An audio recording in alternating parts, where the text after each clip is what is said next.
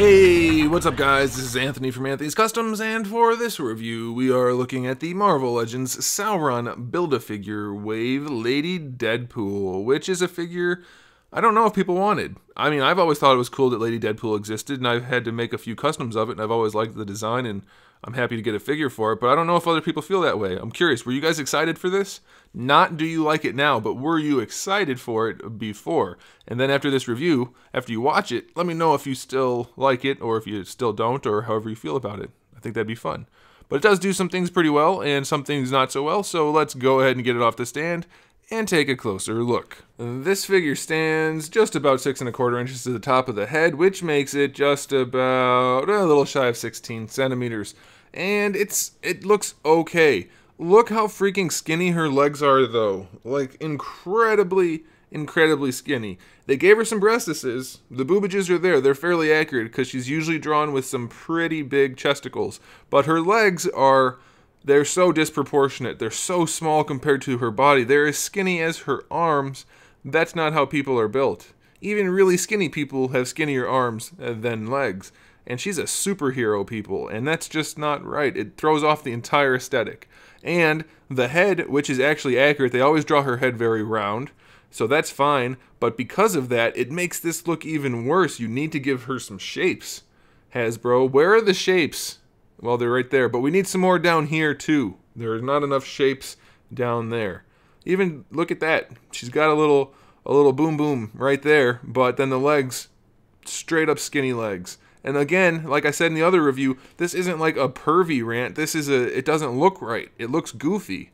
Look how skinny even it's just it looks so skinny and it is. It's weird. So that's a bummer. Otherwise, it looks okay, I guess. I mean, the pouches are all separate things, so they're brown. Kind of a soft sculpt for these thigh pouches. The, the belt is okay with the silver and black painted. I'll take that. The ho holster up here, the harnesses, not holster, uh, doesn't really fit that well. You can see it doesn't lay on her body properly, but it, it's there, so that's okay. Hair sculpt is okay. I like the flow. It's pretty nice. It's got some shading in there, so that's okay. You can't articulate it, though, so that's kind of a bummer. The reds are not universal. You see some darker reds like in the thigh or in the hips, lighter reds in the thighs. Mostly everything is the lighter red except for the the torso, basically the hard plastic parts. So the lower torso and the hips, those are hard plastic in a different color. The black paint works pretty clean though, uh, surprisingly clean in fact. So I like that a lot. That's really nice. A little bit of silver paint on the belt other than the buckle would have gone a long way, but it's not there. As far as accessories go, we have her two katanas. These have red handles, which uh, I like that, but she can't hold them very well. And since she has gripping hands and only two gripping weapons, you would think that she'd be able to hold them better, but she can't. And then her other accessory is Headpool, which you can take and put on the Deadpool figure, which is pretty cool and it's really nicely detailed. Decent paint, decent sculpt, and the propeller spins. And you do get a little clear stand for the head if you want. It doesn't really peg in very well, but it'll hold it up. So if you want to just have it on its own, you can do that. So that's pretty nice. Back to this figure, let's talk about the articulation. The head doesn't sit that high off the neck, so lollipop syndrome is minimal, but you will get decent range. You can give a little bit of attitude.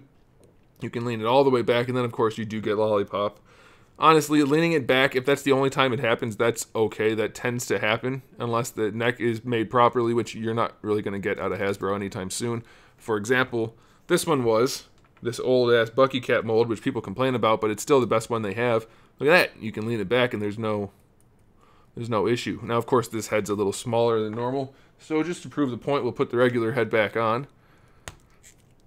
No lollipop syndrome. It's doable. They just don't do it anymore.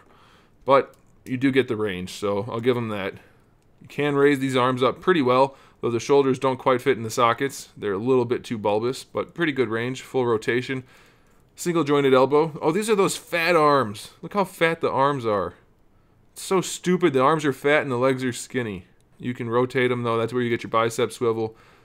Swivel at the wrists, and then you have your hinge. So that's okay. There's the hands that don't hold the joint, or that don't hold the swords.